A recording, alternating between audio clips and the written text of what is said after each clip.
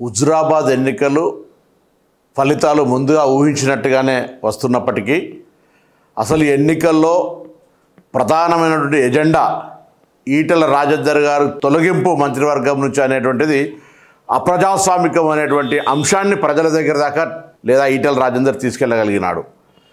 TRS party Dalit Bandhu ద్వారా కావచ్చు ఆ నియోజకవర్గంలో ఉన్నటువంటి ఇద్దరు ముగ్గురు కార్పొరేషన్ చైర్మన్లు ఇవ్వడం కావచ్చు కాంగ్రెస్ పార్టీ గత అభ్యర్థిని చేర్చుకొని ఎమ్మెల్సీ పదవి ఇవ్వడం కావచ్చు ఇవన్నీ కూడా టీఆర్ఎస్కి వ్యతిరేకంగా తీసుకున్నటువంటి నిర్ణయాలు అక్కడ ఉండబడేటువంటి కార్యకర్తలు అంతా కూడా దీన్ని జీర్ణించుకోలేకపోయినారు.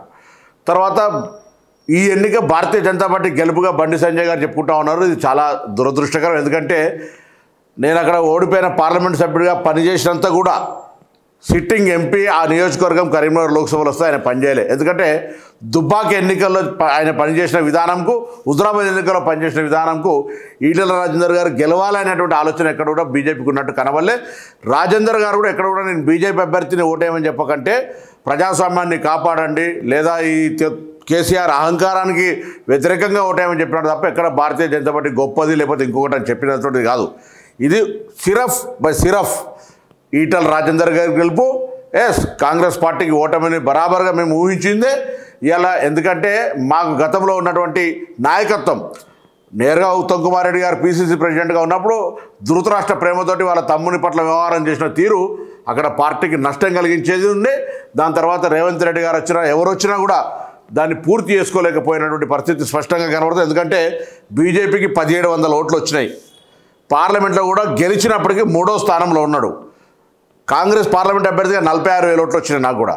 సో అక్కడ కాంగ్రెస్ పార్టీకి బేసికల్ ఓటు ఉన్నప్పటికీ కూడా రెండు ఆంబోతుల మధ్య పోరాటంలాగా జరుగుతున్నటువంటి ఒక పోరాటం ప్రభుత్వము వర్సెస్ ఈటల రాజేందర్ సానుభూతి అనేటువంటి మాత్రమే అంశాలుగా మిగిలినాయి తప్ప బీజేపీ మీద గొప్ప పొడిసింది అనేటువంటి మాట చెప్పుకుంటే దానికంటే దౌర్భాగ్యమైన పరిస్థితి లేదు. ఈ గెలుపు ఈటల రాజేందర్ గారి గెలుపు. తప్పకుండా కాంగ్రెస్ పార్టీ ఈ ఓటమి మీద రాష్ట్ర నాయకత్వం సమీక్షించుకోవాలి. ఊరికనే గొప్ప బహిరంగ సభల ద్వారా పార్టీ బలపడుతుంది అనేటువంటి కేంద్ర ఇన్ఛార్జీలు లేకపోతే రాష్ట్ర నాయకత్వం భావించుకుంటే తప్పు. నియోజకవర్గాల్లో గొప్ప నాయకత్వం ఏర్పడడానికి చిన్న చిన్న డిఫరెన్సెస్ను జిల్లా వారీగా పరిష్కారం చేసే విధంగా చర్యలు చేపట్టాలని కూడా ఈ సందర్భంగా నేను భావిస్తూ ఉన్నాను. హుజురాబాద్ ఎన్నికలు ఫలితాలు ముందుగా ఊహించినట్టుగానే వస్తున్నప్పటికీ అసలు ఎన్నికల్లో ప్రధానమైనటువంటి ఎజెండా ఈటల రాజేందర్ గారు తొలగింపు మంత్రివర్గం నుంచి అనేటువంటిది అప్రజాస్వామికం అనేటువంటి అంశాన్ని ప్రజల దగ్గర దాకా లేదా ఈటల రాజేందర్ తీసుకెళ్ళగలిగినాడు. టీఆర్ఎస్ పార్టీ దళిత బంధు ద్వారా కావచ్చు ఆ నియోజకవర్గంలో ఉన్నటువంటి ఇద్దరు ముగ్గురు కార్పొరేషన్ చైర్మన్లు ఇవ్వడం కావచ్చు కాంగ్రెస్ పార్టీ గత అభ్యర్థిని చేర్చుకొని ఎమ్మెల్సీ పదవి ఇవ్వడం కావచ్చు ఇవన్నీ కూడా టీఆర్ఎస్కి వ్యతిరేకంగా తీసుకున్నటువంటి నిర్ణయాలు అక్కడ ఉండబడేటువంటి కార్యకర్తలు అంతా కూడా దీన్ని జీర్ణించుకోలేకపోయినారు. తర్వాత ఈ ఎన్నిక భారతీయ జనతా పార్టీ గెలుపుగా బండి సంజయ్ గారు చెప్పుకుంటా ఉన్నారు. ఇది చాలా దురదృష్టకరం. ఎందుకంటే నేను అక్కడ ఓడిపోయిన పార్లమెంట్ సభ్యుడిగా పనిచేసినంత కూడా సిట్టింగ్ ఎంపీ ఆ నియోజకవర్గం కరీంనగర్ లోక్సభలో వస్తే ఆయన పనిచేయలేదు ఎందుకంటే దుబ్బాక ఎన్నికల్లో ఆయన పనిచేసిన విధానంకు హుజరాబాద్ ఎన్నికల్లో పనిచేసిన విధానంకు ఈటల రాజేందర్ గారు గెలవాలనేటువంటి ఆలోచన ఎక్కడ కూడా బీజేపీకి ఉన్నట్టు కనవల్లే రాజేందర్ గారు కూడా ఎక్కడ కూడా నేను బీజేపీ అభ్యర్థిని ఓటేయమని చెప్పకంటే ప్రజాస్వామ్యాన్ని కాపాడండి లేదా ఈ కేసీఆర్ అహంకారానికి వ్యతిరేకంగా ఓటేయమని చెప్పినాడు తప్ప ఎక్కడ భారతీయ జనతా పార్టీ గొప్పది లేకపోతే ఇంకొకటి అని చెప్పినటువంటిది కాదు. ఇది సిరఫ్ బై సిరఫ్. ఈటల రాజేందర్ గారి గెలుపు. ఎస్ కాంగ్రెస్ పార్టీకి ఓటమిని బరాబర్గా మేము ఊహించిందే. ఇలా ఎందుకంటే మాకు గతంలో ఉన్నటువంటి నాయకత్వం.